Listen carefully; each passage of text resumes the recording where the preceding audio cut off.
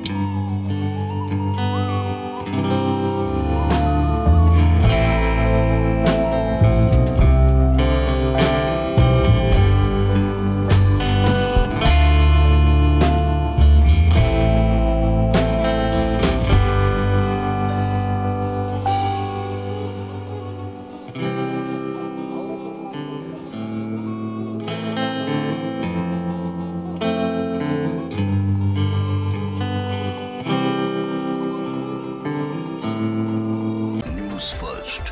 ಪ್ರತಿಕ್ಷಣ ನಿಮ್ಮೊಂದಿಗೆ